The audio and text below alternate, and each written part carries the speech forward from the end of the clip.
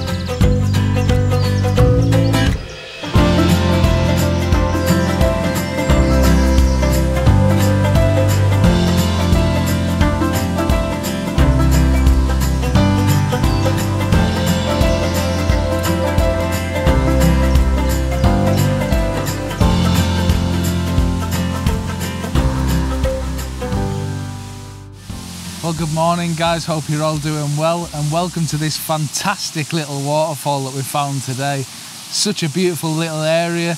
It's kind of springtime, so we've got lots of lush greens and lots of new growth, and it just looks absolutely beautiful. So I'm going to work around this firstly today. We've kind of walked in through a, a bit of a bluebell glade as well, and that looks really nice. We've got some decent light today where the sun's kind of hidden behind clouds sometimes and moving through. So we've got change in light. So I think it's going to be a really good day for this kind of photography, hopefully. And yeah, I really want to get into photographing this waterfall because it, it's, although there's not a lot of water as you can see, it's quite a picturesque waterfall. There's lots of streams of water coming down. We've got some lovely green foliage and that's provide, proving to be a little bit of an issue. So we're having to watch what's happening there. But all the uh, ferns and everything are just starting to come out now, so it looks really, really nice. So I'll get you to the back of the camera as soon as I get a composition set up and walk you through my thinking. So now that I've got this set up, I'll just press record on the back of here now. So this letterbox format works really well here because I want to capture this wide scene. We've got this tree that comes down on the left side and I'm trying to use that almost like a frame. And then we've got this boulder, this rock on this right side here, which I'm doing the same with.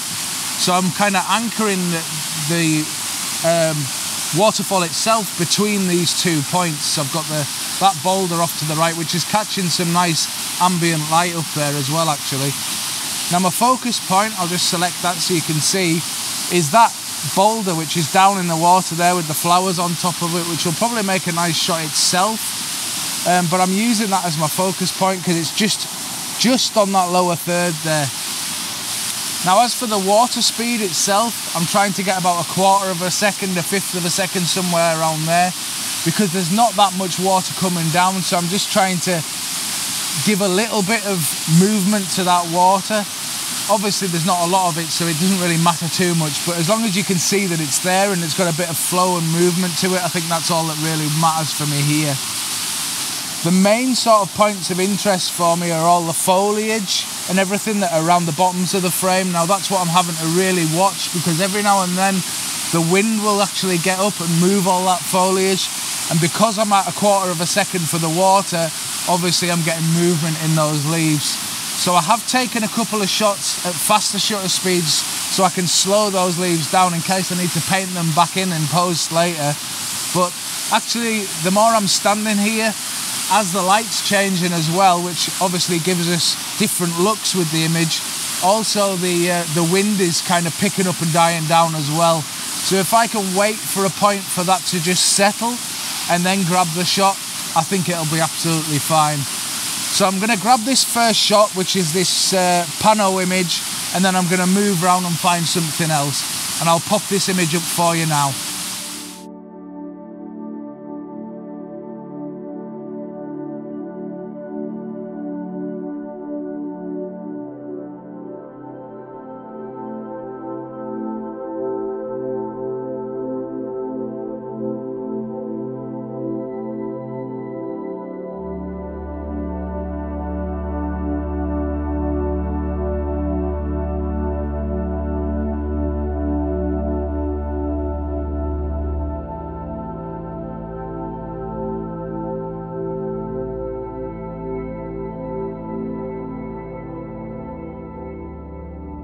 I've moved over to the other side now, and just up here, there's actually some primroses which are kind of off to the right hand side of the waterfall. And I think that'll look a really nice shot if I can isolate the water flowing down and the uh, the primroses off to the right hand side, probably a square crop, something like that. But I'll go and grab the camera, get set up and see how I can compose it and make it work best. So guys, I'll just show you what I've got on the back of my camera. I'll press record now. Right, so as you can see, I'm using a letterbox again. Now I've tried a square crop here, and what I'm actually finding is it's not working so well because you've got, the way this is balanced, I've got the prim, these primroses off to the right hand side of the frame with no water in it at all. So you've got this kind of dry side of the frame and then the waterfall coming down. And I really like the contrast between the falling water and those primroses on the right hand side. When I go in square, I can't actually get in tight enough to make it work. So I'm using this letterbox format again and I've found that, that it seems to look the most balanced and the best that I can get it on here.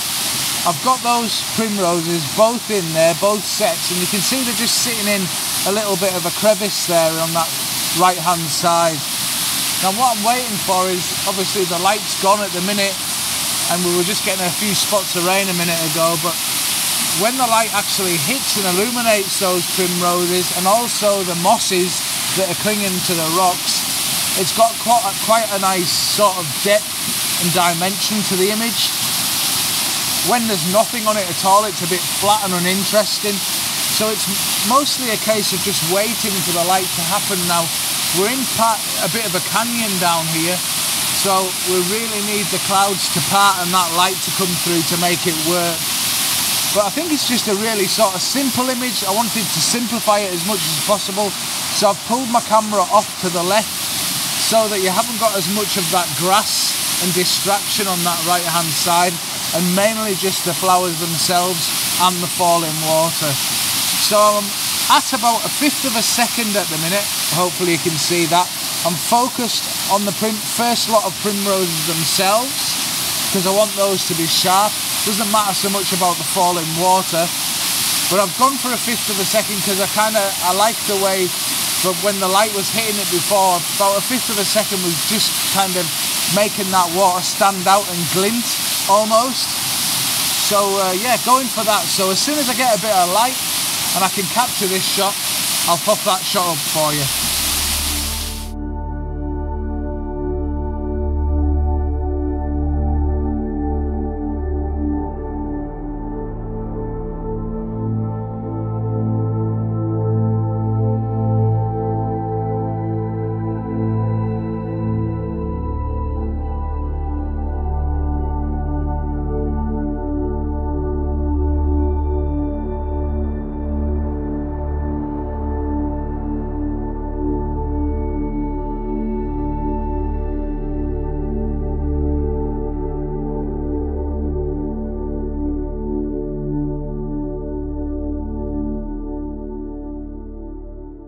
This week's video is sponsored by Kase Filter's Magnetic Revolution system, made from toughened Wolverine glass, lightweight, fast and optically neutral. Be part of the revolution. Right guys, so I'll show you the back of the screen here. I'll just press record on here now. I can find it, there we go.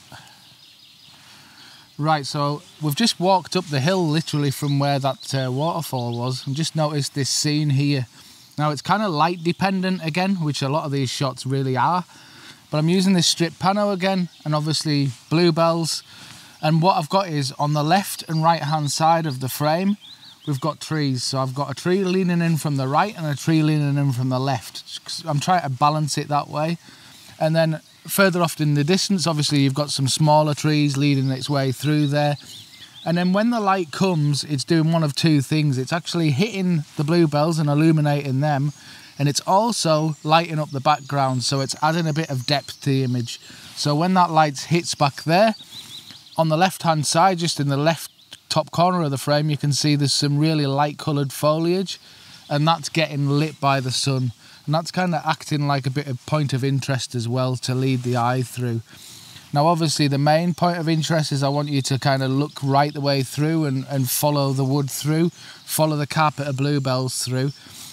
But yeah, I think it's really nice scene, but very light dependent. And as I said earlier on today, we're getting that today because we've got cloud and then sunshine behind that, and then every now and then it's illuminating, and it's looking really, really good that way. So I've just been taking shots as the light improves. It's just about to come again. Here we go. So all I'm doing is adjusting the exposure when the light starts to hit because obviously it's getting lighter all the time and then grabbing a shot. I've got my focus point right in the middle there. F16, um, a sixth of a second because there's barely any wind at all at the minute. ISO 100 and then just adjusting my exposure to match the light. Just making sure I don't get any hot spots or clip it anywhere and just checking the image once I've taken it just to make sure I bring the histogram up and make sure there's no blinkies or anything like that. I can see it's off to the left, so I'm more than fine because some of those trees are kind of silhouette, silhouetted there. And then I'll just uh, take another shot now. And yeah, simple shot, there's nothing complicated about it at all, but I'll pop the shot up for you now.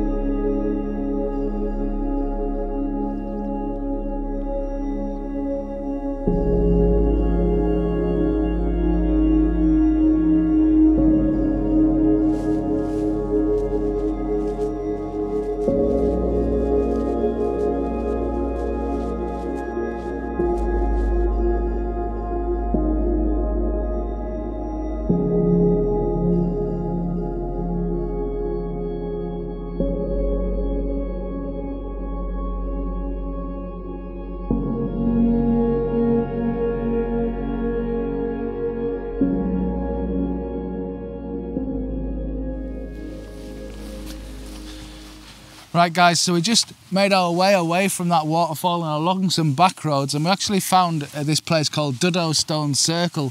And as you can see, the clouds around us right now are absolutely beautiful. So I'm gonna have to handhold this and I'll explain why just in a second. I'll press record on the back of here now and bring up the exposure so you can see what I'm looking at. Now, as you can see there, if I lift myself up slightly, like this, you can see I'm losing separation with that stone circle. And basically what's happening, I'm getting all those fields and trees and everything in the background. So I'm lowering myself down and getting really quite low. And now I've got a piece of rain on my lens, which isn't great. So I'm gonna have to clean that just a second. That's the only problem with this weather. So lowering myself down so that I eliminate all of those distractions. I'll bring the exposure down so you can see the sky and you can see how dramatic it is. So I'm at a 60th of a second at the minute, f16 ISO 100. I'm just going to check that I'm more or less level, although I can straighten that up later. And then focus on that first stone. Now you can see I've separated them as best as I can and then grab that shot. And then once I've got that shot, I'll bring it up on the back of the camera, bring up the uh, blinkies and make sure I haven't overexposed any of that sky because I really want to keep all that detail if possible. Now there's a tiny little bit there, but it's not going to cause me any issues. The one thing I'm going to have to do though is take two shots, one for the actual foreground and one for the sky because obviously I want a bit of directional light on those stones. I'll just take that again, make sure I'm level, and then take the shot again. And then what I'll do is is paint that sky in over the top of that image. Now hopefully we'll get a bit more directional light on these stones, that would be nice, just to add to it. But really, when we've seen this scene, because all the fields around us are mainly green, this wouldn't be a shot without the sky above it. The sky is actually making the shot. It's it's so dramatic and moody. It's actually making this whole image. So hopefully, if I get enough light on these stones, enough ambient light and everything, I'll pop the image up for you.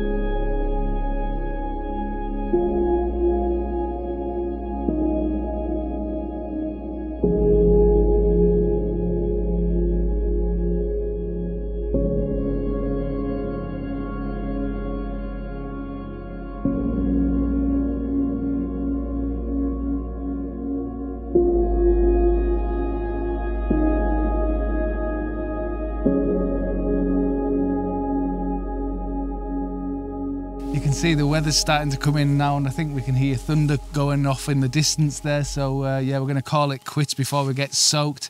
Anyway, I hope you've enjoyed this week's video.